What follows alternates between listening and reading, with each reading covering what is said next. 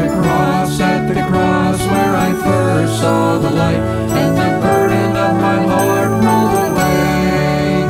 It was